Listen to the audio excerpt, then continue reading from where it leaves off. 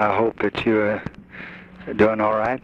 Oh, I'm doing fine. Thank you. Well, this Congress is getting pretty rough up here, and I may have to send for you before it gets through. I hope you get home for Christmas, will you? I don't know. God, uh, you're so nice to call me, Mr. President, because you must be out of your mind with work piled up.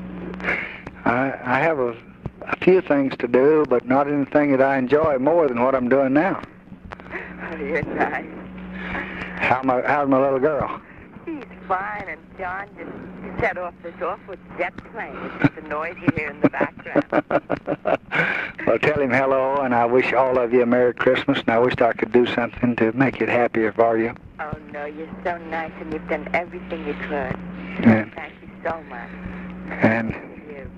do you know how much we love you? Oh, well, you're awfully nice. You don't know? Uh, well, yes, I do. You better know.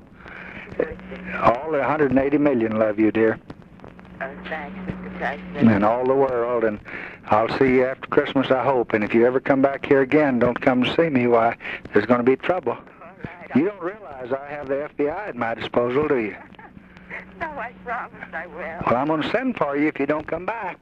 Good. Or someday they're going to create a traffic jam out there in Georgetown. Okay. Well, it'll be great. You have a good Christmas, dear.